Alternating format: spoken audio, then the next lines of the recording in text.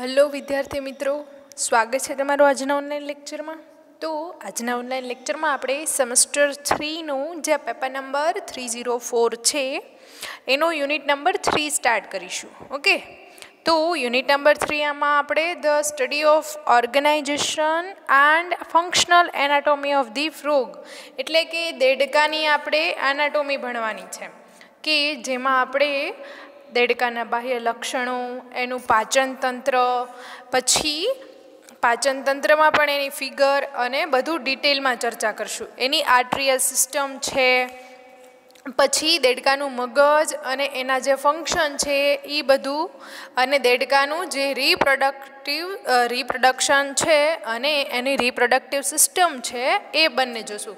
કે નોર્મલી આપણે જોઈએ તો દેડકામાં યુરિનોજીનાઇટલ સિસ્ટમ જોવા મળે છે, એટલે કે એક્સક્રિટરી સિસ્ટમ અને જે રિપ્રોડક્ટિવ સિસ્ટમ હોય છે બંને જોઈન્ટ હોય છે ઓકે તો આજે આપણે દેડકાના બાહ્ય લક્ષણોનો અભ્યાસ કરીશું. તો દેડકો છે એ વર્ગ ઉભયજીવીમાં આવે છે. ઓકે? ઉભયજીવી એટલે કે બંને પ્રકારની લાઈફ જોવા મળે. ઉભય એટલે બંને અને જીવી એટલે કે એની લાઈફ સ્ટાઇલ એમ. તો એ પાણીમાં અને ટેરેસ્ટિયર એટલે કે જમીન પર બંને પર જોવા મળે છે. કારણ કે દેડકાને જે શરૂઆતની જે એનું જીવન હોય છે એ પાણીમાં પસાર કરે છે અને પુખ્ત થતાં એ જમીન ઉપર રહે છે. એટલે કે એમાં મેટામોર્ફોસિસ પણ જોવા મળે છે. રૂપાંતરણની પ્રક્રિયા એટલે કે ઈંડા, ઈંડામાંથી પછી લાર્વા બનવા અને પછી એનું એડલ્ટમાં રૂપાંતરણ થવું એ બધી પ્રક્રિયા દેડકામાં જોવા મળે છે. એટલે કે મેટામોર્ફોસિસ દેડકામાં જોવા મળે છે. હવે આપણે જોઈએ કે દેડકાનું જે શરીર હોય છે, કેવું હોય છે? ચીકણું અને મોઇસ્ટ હોય છે. ભીનું રહેતું હોય છે. કારણ કે એનામાં શ્વસન અંગ તરીકે જ્યારે પુખ્ત વયમાં આપણે જોઈએ તો શ્વસન અંગ તરીકે ફેફસા આવેલા હોય છે. જ્યારે એ ટેડપોલ હોય છે, ત્યારે એનામાં શું આવેલું હોય છે? ઝાલરો આવેલી હોય છે. દેડકાનું શરીર નાનું અને કેવું હોય છે? પૃષ્ઠવક્ષ બાજુએ થોડું એવું ચપટું હોય છે. અને એ એમ બે ભાગમાં વિભાજિત હોય છે, શીર્ષ અને ધડ પ્રદેશ. ઓકે?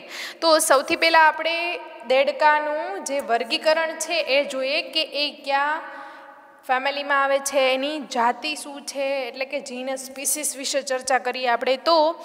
હવે કિંગડમની એટલે કે સૃષ્ટિની વાત કરીએ તો શેમાં આવે છે? You કેરિયોટા okay? એ કેવી છે? યુ કેરિયોટિક એનિમલ છે એ ઉપસૃષ્ટિ કેમાં આવે છે? મેટાઝુઆ. સમુદાય છે એનું? મેરુદંડી. ઉપસમુદાય શું આવશે? પૃષ્ઠવંશી. અને એનો વિભાગ આવશે હનુધારી. હવે ચતુષ્પાદ એનો પ્રવર્ગ છે, એટલે કે ટેટ્રાપોડામાં એનો સમાવેશ થાય છે. હવે જોઈએ એનો ક્લાસ એટલે કે વર્ગ જોઈએ તો શું છે? ઉભયજીવી એનો વર્ગ છે.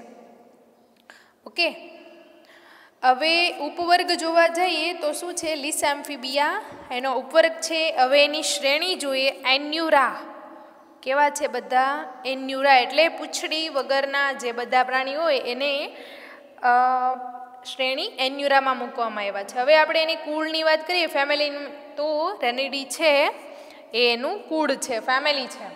હવે પ્રજાતિ કઈ છે? રાના. અને જાતિ છે એની ટાઈગ્રી ટાઈગ્રીના. એટલે એનું વૈજ્ઞાનિક નામ જીનસ સ્પીસીસને ભેગું કરીએ તો શું બનશે? રાના ટાઈગ્રીના. સાયન્ટિફિક નેમ છે. એટલે એને નીચે અંડરલાઇન કરવી જરૂરી છે. સામાન્ય નામ છે એટલું આપણું ઇન્ડિયન ફ્રોગ. ઓકે? દેડકો.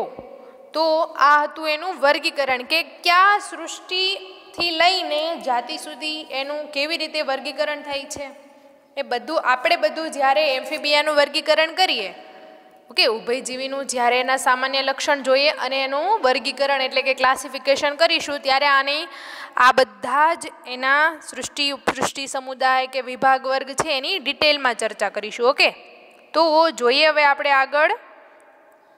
દેડકો છે એ વર્ગ ઉભયજીવીમાં આવે છે અને એની ત્વચા કેવી હોય છે? ચીકણી હોય છે.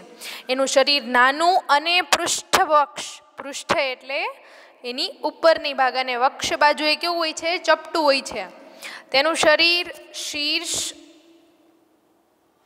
શીર્ષ અને દળ ભાગમાં વિભાજિત હોય છે. એમાં ગરદન અને પૂંછડીનો શું હોય છે? અભાવ એટલે જેને શ્રેણી એન્યુરામાં મૂકવામાં આવે છે. પૂંછડી વગરના હોય એ બધાને એન્યુરામાં મૂકવામાં આવે છે. ગરદન અને ડોકનો શું હોય છે? અભાવ હોય છે. આમાં ગરદન અને ડોક આવેલી હોતી નથી. શરીર શીર્ષ અને ધડમાં, માથું અને ધડમાં વિભાજિત હોય છે. શીર્ષ જોઈએ તો શું ધરાવે છે? એ નાસિકા છિદ્ર ધરાવે છે, પછી આંખ ધરાવે છે અને બાહ્યકર્ણ ધરાવે છે. નોર્મલી આપણે જોવા જઈએ તો દેડકો છે એમાં કાનનો, બાહ્ય કર્ણનો અભાવ હોય છે. પરંતુ કર્ણપટલ, ટિમ્પેનમ જે હોય છે એ બાહ્ય કર્ણ છિદ્ર એમાં હાજર હોય છે એટલે દેડકો સાંભળી શકે છે. નોર્મલી એ પાણી મારે અથવા જમીન મારે તો એ પાણી પીતો નથી, પણ પાણીને શોષે છે એબ્ઝોર્બ કરે છે પાણીને. એની સ્કિન હંમેશા ચીકણી હોય છે અને એની આંખ હોય છે એ નિક્ટિટેટિંગ મેમ્બ્રેન ધરાવે છે. ઓકે આઈલીડ જોઈએ તો અપર આઈલીડ અને લોવર આઈલીડ પાપણ એની આવેલી હોય છે. અને બાહ્યકર્ણ તરીકે શું હોય છે? છિદ્ર હોય છે. ટિમ્પેનમ ધરાવે છે. નાસિકા, છિદ્ર એના શીર્ષના આગળના ભાગે એટલે પૃષ્ઠવક્ષ બાજુએ આવેલું હોય છે. દેડકાનું શીર્ષ હોય છે એ કેવું હોય છે? ત્રિકોણાકાર ટ્રાયેંગ્યુલર શેપ હોય છે આગળથી. અને પૃષ્ઠવક્ષ બાજુ એ પણ ચપટું હોય છે. શીર્ષની જે વક્ષ બાજુએ મુખફાટ આવેલી હોય છે, આ મુખફાટ અહીંયા તમે જોઈ શકો છો કે મુખમાં જે ફાટ પડે છે, આડી એ કેવી હોય છે? મોટી હોય છે. કારણ કે દેડકો છે એ કેવો છે? કાર્નિવોરસ એનિમલ છે. એટલે કે દેડકો માંસાહારી પ્રાણી હોવાથી મુખફાટ કેવી હોય છે? ખૂબ બોડી અને લાંબી હોય છે. કારણ કે એને જડબું હોય છે શું હોય છે? ફાડવાનું હોય છે વધારે. ઉપલા જડબામાં અગ્રવક એની જે પૃષ્ઠવક્ષ બાજુ હોય છે, એની ત્યાં શું આવેલું હોય છે? ઉપર નાસિકા છિદ્ર. એક જોડ બાહ્ય નાસિકા છિદ્ર આવેલા હોય છે. જેની આગળ એનો જે અણીદાર ભાગ હોય ને, આ નાસિકા છિદ્ર છે આ નાસિકા અહીંયા છિદ્ર છે. એનો અહીંયા અણીદાર ભાગ છે. એને શું કહેવામાં આવે છે? તુંડ, સ્નાઉટ. એને તુંડ પ્રદેશ કહેવામાં આવે છે. ઓકે? હવે તુંડ પ્રદેશથી શરૂ કરીને છેક અવસારણી. એટલે કે એનું જે ક્લોએકલ એપર્ચર હોય અવસારણી છિદ્ર. ત્યાં સુધી એક પીળા રંગની સળંગ આયામ રેખા આવેલી હોય છે. આયામ એટલે એની આડી રેખા એવી રીતના આવેલી હોય છે. તેને પૃષ્ઠ મધ્ય રેખા કહેવામાં આવે છે. શું કહેવાય છે આને? પૃષ્ઠ મધ્ય રેખા અથવા એને મિડ ડોર્ઝન લાઇન પણ કહેવામાં આવે છે. અને આપણે જોઈએ તો એક મોટી એક જોડ શું આવેલી હોય છે? એની આંખો આવેલી હોય છે. એમાં નિક્ટિટેટિંગ મેમ્બ્રેન અપર આઈલીડ અને લોઅર આઈલીડનો સમાવેશ થાય છે. ગરદનનો અભાવ હોય છે એટલે શીર્ષનું જે પાર્શ્વીય હલનચલન છે ને એ શક્ય હોતું નથી. કારણ કે દેડકામાં શું હોય છે? ડોકનો, ગરદનનો અભાવ હોય છે. શીર્ષ અને ધડ પ્રદેશમાં જ ખાલી શરીર વહેંચાયેલું હોય છે. હવે આંખની ઉપર આપણે જોયું કે ઉપર અને નીચે એમ બે સ્થિર પોપચા આવેલા હોય છે. ઓકે, એટલે પાણીમાં અને જે નિક્ટિટેટિંગ મેમ્બ્રેન આવેલું હોય છે, એટલે એને પાણીમાં અંદર ઘણા બધા તત્વોથી અથવા પદાર્થોથી રક્ષણ આપે છે. કોણ? આ નિક્ટિટેટિંગ મેમ્બ્રેન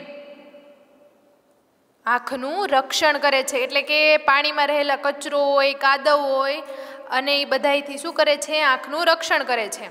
આંખની સહેજ નીચે પાર્શ્વ બાજુ એક ગોળાકાર ઘેરા રંગની ચામડી જેવો હોય, આપણે એને શું કીધું છે? આંખની નીચેની. જો આંખ છે, એની ધેન આ નીચે. કર્ણપટલ છે. નોર્મલી આપણે જોયું કે ઉભયજીવીમાં કર્ણ બાહ્યકર્ણનો શું હોય છે? પિન્નાનો અભાવ હોય છે. પણ એ સાંભળી શકે છે. એને શું આવેલું હોય છે? બાહ્યકર્ણ છિદ્ર. એટલે ટીમ્પેનમ આવેલું હોય છે.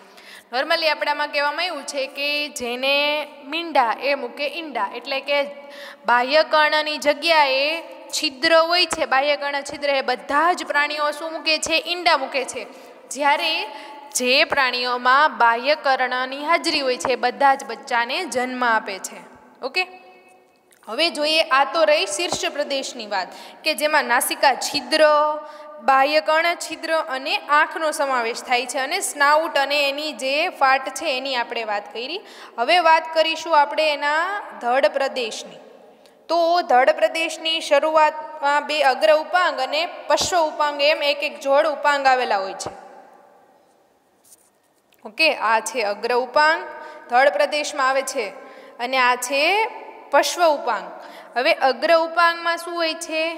ચાર આંગળીઓ આવેલી હોય છે. ઓકે? જ્યારે પશ્વ ઉપાંગમાં પાંચ આંગળીઓ અને એ પણ પડદાથી જોડાયેલી હોય છે. પશ્વ ઉપાંગ હોય છે એ એક પાતળી આવરણથી બનેલા પડદાથી જોડાયેલું હોય છે. અને જ્યારે અગ્ર ઉપાંગ એ ફોરલીમ કહીએ આપણે, એ ચાર આંગળીનું બનેલું હોય છે. અને એકબીજાથી છૂટી હોય છે અને એના છેડે નહોર હોતા નથી. જ્યારે પશ્વ ઉપાંગો એ અગ્ર ઉપાંગ પ્રમાણમાં કેવો હોય છે? મોટા અને મજબૂત હોય છે. અને પાતળી ત્વચા એટલે કે પડદા વરે અને એનામાં શું હોય છે? નહોર વગરની દાંગડી હોય છે, પણ એની વચ્ચે શું આવેલું હોય છે? પાતળી ત્વચા જેવો પડદો આવેલો હોય છે. ઓકે, તો આ રહ્યો ધડ પ્રદેશનું વાત. અને એનો જે પૃષ્ઠભાગ હોય છે, એ કેવો હોય છે? ડાર્ક હોય છે, ઓલિવ ગ્રીન હોય છે, અને જ્યારે વક્ષ ભાગ હોય છે, એ સહેજ આછો હોય છે compare to dorsal side okay પૃષ્ઠ ભાગ હોય છે એ સહેજ ઘેરા રંગનો હોય છે, જ્યારે વક્ષ ભાગ હોય છે કેવો હોય છે? આછો હોય છે.